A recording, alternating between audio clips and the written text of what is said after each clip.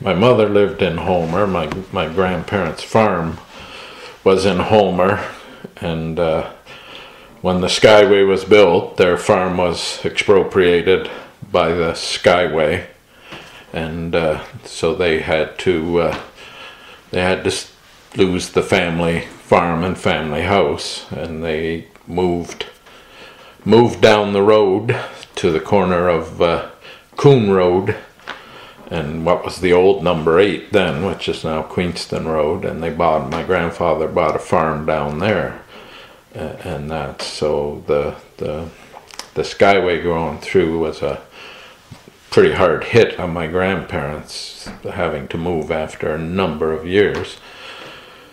And then they went down, built a house down there on the farm. The church moved down there, um, right across the street from their farm.